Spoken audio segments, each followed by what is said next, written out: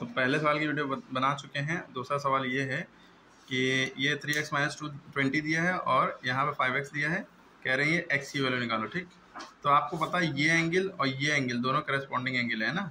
यानी कि ये जितना है वो इतना ही ये हो जाएगा, ठीक? और ये और ये मिला के लीनियर पेयर वाली प्रॉपर्टी लग जाएगी एडजस्टेंट सप्लीमेंट्री एंगल वाली, दोनों का सम वन होता है, ठीक? निकल आएगा आंसर ठीक? तो आपको जो हमने बताया, वो कैसे करना है?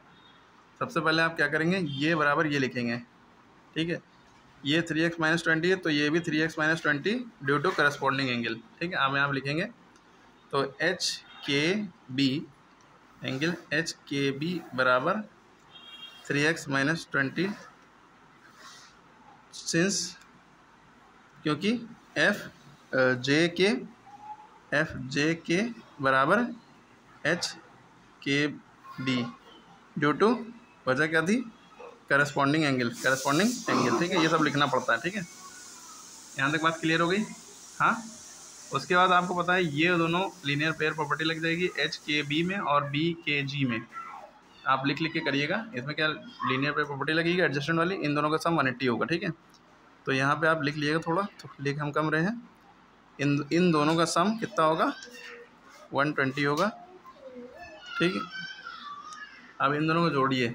फोकस इन दोनों को जोड़ने में भाई थ्री एक्स में से फाइव एक्स ऐड हो गया, ठीक है? ये माइनस ट्वेंटी को इग्नोर करिए, क्योंकि ये इसमें जुड़ ना घट, ना ही जुड़ सकता, ना घट सकता। ये दोनों जुड़ सकते हैं, ठीक है? दोनों में एक्स लगा है इसमें एक्स नहीं लगा, इसलिए सॉल्व नहीं हो सकता। Three X plus five X eight X ये माइनस ट्वेंटी बराबर वन एट्टी अब माइनस ट्वेंटी इसका भाई, ये नंबर नंबर का भाई होता है तो ये इधर चला जाएगा वन एट्टी में से ट्वेंटी की माइनस ट्वेंटी उधर जाएगा प्लस ट्वेंटी हो गया, ठीक है? इधर बचा अकेला एट एक्स है ना? ये उधर चला गया भाई। एक सौ बीस, अस्सी में से एक सौ बीस बीस जोड़ेंगे दो सौ हो गए। एट एक्स बराबर दो सौ हो गए। अब एक्स की वैल्यू निकालनी तो एट और एक्स के बीच में मल्टीप्लाई छुपा होता है। एट कहाँ चला जाएगा? नीचे चला जाएगा। दो सौ अपन एट। तो eight one the eight eight twenty five the two hundred, क्योंकि एट टू द सिक्सटीन, बचा forty, eight five the forty. तो एक्स की वैल्यू आ गई ट्वेंटी फाइव। अगर आपको काटना नहीं आता तो आप एट से एट से टू हंड्रेड को डिवाइड कर लिएगा यही आंसर आएगा। क्लियर है? कैसे किया? आंसर बड़ा सिंपल था। ये इसके करस्पॉन्डिंग एंगल इसके और दूसरे भी तरीके हैं। इसको आप इसके इक्वल बता सकते हैं। लीनियर अल्टरनेट इंटीरियर एंगल ये इसके इक्वल हो जाएगा।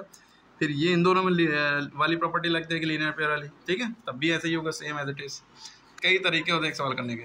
अब ये वाला आप खुद से करके दिखाइए। इसका पोस्टमार्टम भी इससे कर लिएगा। उससे कर सकते हैं। और ये वाला आप करिए। ये इसके इक्वल है। यही सेम प्रोसीजर ये, इसको ये मान लिया। फिर इन दोनों का सम वन रख दिया। इसको करके दिखाइए।